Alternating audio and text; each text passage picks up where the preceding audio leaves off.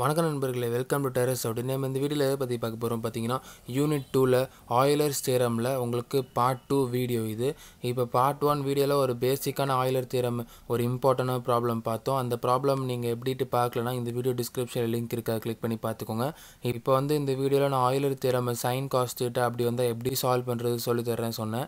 இப்போ அந்த கொஸ்டினை பார்ப்போம். If U equal to sine inverse உங்களுக்கு X cube minus Y cube divided by X plus Y prove that அப்படி சொல்லி உங்களுக்கு அந்த ச ஆயிலர் தேரமோட அந்த ஃபார்முலாவை கொடுத்துட்டு உங்களுக்கு இதில் வந்து டிகிரி டூட்டு அவங்களே சொல்லிடுறாங்க. இப்போ வந்து இந்த கொஸ்டினை பார்த்தோன்னே நீங்கள் வந்து உடனே ரொம்ப கஷ்டமாக ஃபீல் பண்ணக்கூடாது. இப்போ ஆயிலர் தேரம் பொறுத்த வரைக்கும் என்னன்ட்டு உங்கள் மைண்டில் ஒரு அப்ரோச் வரணும் அப்படி பார்த்தீங்கன்னா அதாவது உங்களுக்கு டிகிரி அவங்களே கொடுத்துருக்காங்க. அதேமாரி அந்த எக்ஸ் தோ யூ பை தோ X plus Y though you by தோ ஒய் அந்த இது எல்லாமே அவங்க அவங்களே கொடுத்துருக்காங்க. இப்போ நம்ம என்ன பண்ணணும் அப்படி பார்த்தீங்கன்னா உங்களுக்கு நான் போன வீடியோவில் யூ இருந்தால் உங்களுக்கு யூ வச்சு அந்த ஈக்குவேஷனை ஃபார்ம் பண்ணி இந்த லெஃப்ட் சைடை சால்வ் பண்ணி உங்களுக்கு right side equal to prove பண்ணுங்கள் சொல்லியிருந்தேன். ஆனால் உங்களுக்கு வந்து இன்னொரு சைடும் நீங்கள் யோசிக்கணும். அதாவது யூ இருந்தால் மட்டும் போதாது. அதாவது இதில் சைன் இன்வர்ஸ் இருக்குது பார்த்தீங்களா அப்போ வந்து இதெல்லாம் எப்படி சால்வ் பண்ணணும் அப்படின்ட்டு உங்களுக்கு சொல்லிவிட்டு அப்புறம் இந்த வீடியோ எண்டில் உங்களுக்கு அந்த ட்ரிக்கு டோட்டலாகவே உங்களுக்கு சொல்கிறேன் இப்போ கிவன் வந்து நீங்கள் எழுதிடுங்க U equal to sine inverse அப்படி சொல்லி எழுதிடுங்க இப்போ வந்து நம்ம யூ ஃபங்க்ஷன் இருக்குது ஆனால் உங்களுக்கு இதில் சைன் இன்வர்ஸ் இருக்குது அதனால் நம்ம என்ன பண்ணுறோம் சைன் இன்வர்ஸ்னால் உங்களுக்கு இந்த சைடு கொண்டு வந்தால் சைன் ஆயிரும். அப்போ வந்து உங்களுக்கு இந்த சைடு கொண்டு வாங்க. Sine U equal to X cube minus Y cube divided by X plus Y நம்ம வந்து ஆயிலர் தேர்மானாலே நம்ம டிகிரி கண்டுபிடிப்போம். டிகிரி எப்படி கண்டுபிடிப்போம்? நம்ம வந்து இங்கே டிகிரி டூ டு கொடுத்துருக்காங்க. நம்ம ஆனாலும் என் இது என் யூட் வரும். என் யூனா அவங்க யூ வந்து இப்போ டேன் யூட் இருக்குது அப்போ என் வந்து டூ இருக்குது அப்போ டூ இருக்குது அப்போ வந்து டிகிரி டிகிரி வந்து நம்ம இப்போ இதில் எப்படி கண்டுபிடிப்போம் பார்த்தீங்கன்னா உங்களுக்கு வந்து இதை இது சைன் யூ ஈக்குவல் டு உங்களுக்கு f of x comma y அதை எஃப் ஆஃப் எக்ஸ் கமா வேணால் ஃபங்க்ஷன் ஆஃப் டூ வேரியபிள்ஸ் தான் அசைன் பண்ணிடுங்க. சைன் யூக்கு வந்து x cube minus y cube the divided by x plus y இருக்குது இப்போ வந்து நம்ம எஃப் ஆஃப் எக்ஸ் கமா ஒய்னா இதில் ரெண்டு வேரியபிள் இருக்குது எக்ஸ் ஒயிட் அதனால தான் f of x comma y f function of two variables சொல்லியிருக்கோம்.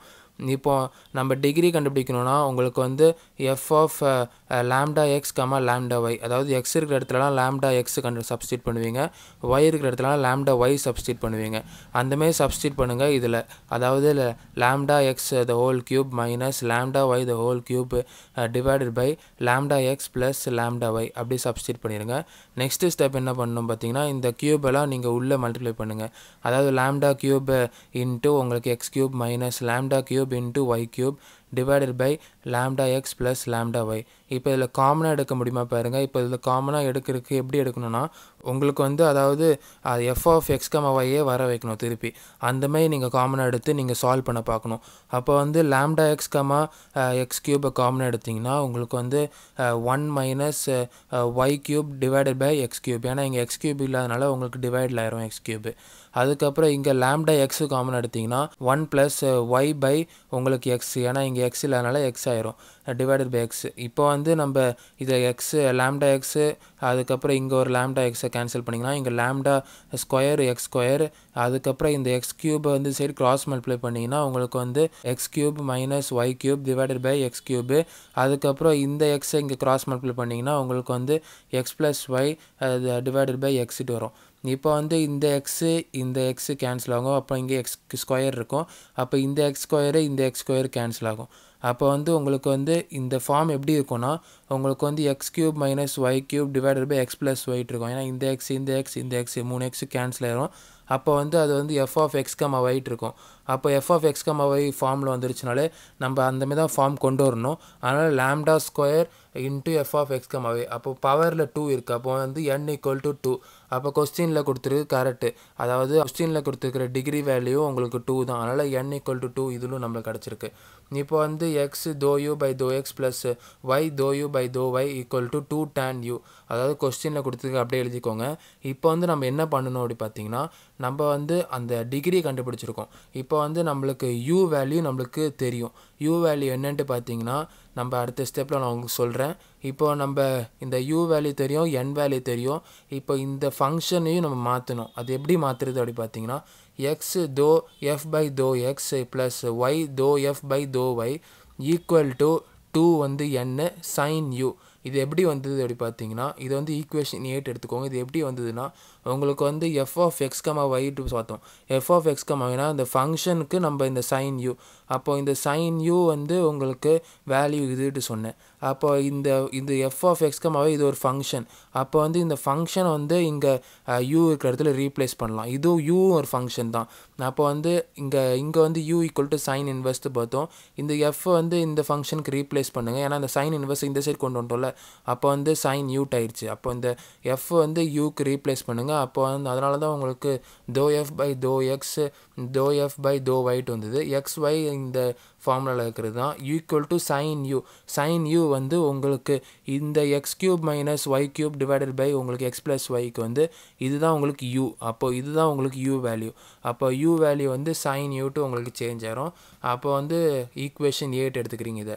இப்போ நெக்ஸ்ட்டு நம்ம என்ன பண்ணோம் அப்படி பார்த்தீங்கன்னா உங்களுக்கு வந்து எஃப் வேல்யூ தெரியும். அதாவது எஃப் வேல்யூ வந்து சைன் யூ இது கிடையாது சைன் யூ மட்டும் தான் இது யூக்கு தான் இந்த வேல்யூ இப்போ இது சைன் யூ சைன் யூக்கு வந்து எஃபோட வேல்யூ அப்போ வந்து உங்களுக்கு தோ எஃப் பை தோ எக்ஸுக்கு வந்து உங்களுக்கு தோ பை தோ எக்ஸ் எஃபோட வேல்யூ சைன் யூட்டு சொன்னேன்.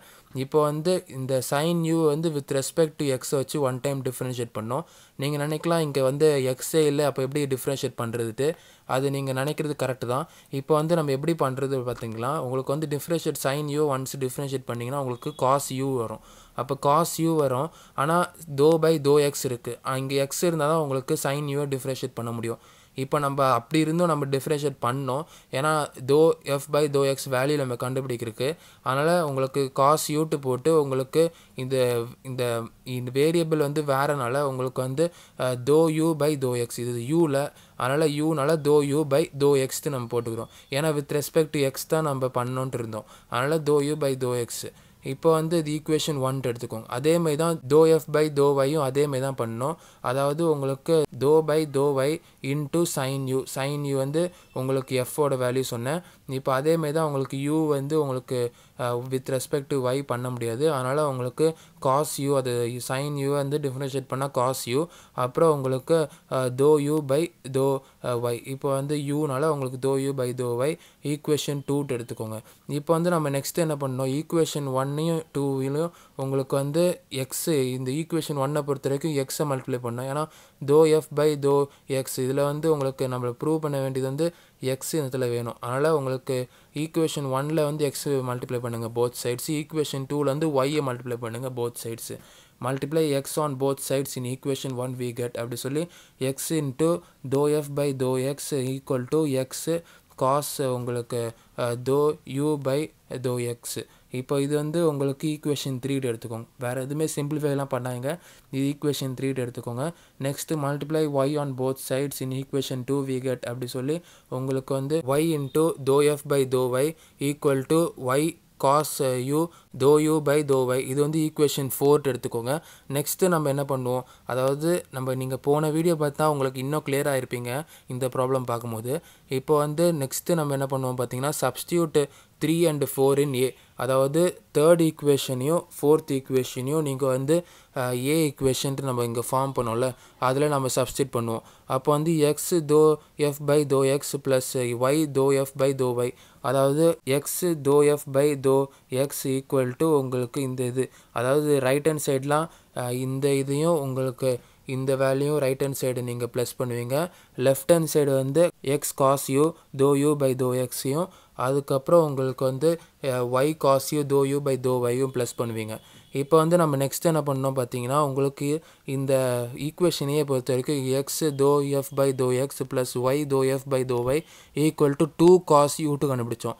அப்போ இந்த டூ காஸ் யூட்டு இந்த வேல்யூஸ் டோட்டலாகவே நீங்கள் சப்ஸ்டியூட் பண்ணுங்கள் இந்த இதுக்கு பதிலாக அதாவது x doe f by doe x plus y doe f by doe ஒய்க்கு பதிலாக நீங்கள் வந்து டூ காஸ் யூட்டு நீங்கள் சப்ஸ்டியூட் பண்ணுங்கள் ஈக்குவல் டு உங்களுக்கு இந்த காஸ் யூ இந்த ரெண்டு இதுலேயும் காமனாக இருக்கிறனால இது காமனாக எடுத்திங்கன்னா உங்களுக்கு x doe u by doe x plus y doe u by doe white வரும். இப்போ வந்து இந்த காசை வந்து இந்த சைடு கொண்டு போனால் டினாமினேட்டரில் வரும். அப்போ வந்து two sine u cos u equal to x doe u by doe x plus y doe u by doe y இப்போ வந்து நம்ம sine u by cos u அதாவது சைன் பை காஸ் வந்து உங்களுக்கு டிக்னாமெண்ட்ரியை பொறுத்த வரைக்கும் டேன் அப்போ வந்து கடைசியில் உங்களுக்கு x doe u by doe x equal to y doe u by doe y equal to two tan யூட்டு கிடச்சிரும். அதான் நம்மளை கொஸ்டினில் ப்ரூவ் பண்ண சொன்னாங்க. அதாவது x doe u by doe x plus y doe u by doe y equal to two tan யூட்டு இதுதான் நம்ம prove பண்ணியிருக்கோம். கடைசியில் இன்னொன்று ஒரு முக்கியமான விஷயம் பார்த்துக்கோங்க கொஸ்டினில் ப்ரூவ்ட்டு கேட்டிருக்கனால நீங்கள் வந்து ஹென்ஸ் ப்ரூவ்டு அப்படின்ட்டு எழுதிருங்க. இதே இது வெரிஃபைடு கேட்டிருந்தாங்கன்னா கொஸ்டினில் நீங்கள் ஹென்ஸ் வெரிஃபைடு எழுதிருங்க. இது ரொம்ப இம்பார்ட்டண்டானது இப்போ வந்து நம்ம நெக்ஸ்ட்டு நான் உங்களுக்கு சொல்கிறேன்னு சொல்லியிருந்தேன். அதாவது இந்த சம்மோட ட்ரிக்கை இப்போ இந்த சம்மை பொறுத்த வரைக்கும் நம்ம வந்து அதாவது ஈக்குவேஷன் ஏட்டு நம்மளாக ஒன்று ஃபார்ம் பண்ணி அதுக்கப்புறம் நம்ம கொஸ்டினில் சொன்ன ஈக்குவேஷனை ப்ரூவ் பண்ணோம் இது எப்படி உங்களுக்கு நான் பண்ணுறேன்னா அதாவது உங்களுக்கு இந்த சம்மை பொறுத்த வரைக்கும் என் வேல்யூ அவங்களே கொடுத்துட்டாங்க.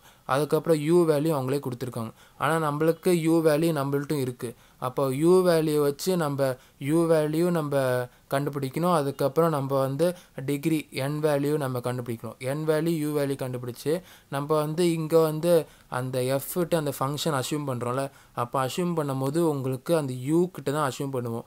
அப்போ வந்து அந்த இதை வச்சு நம்ம அந்த ஃபங்க்ஷனை வந்து இந்த இந்த இது அதாவது தோ யூ பை தோ எக்ஸ் அதே நீங்கள் மாற்றி எழுதிடணும்.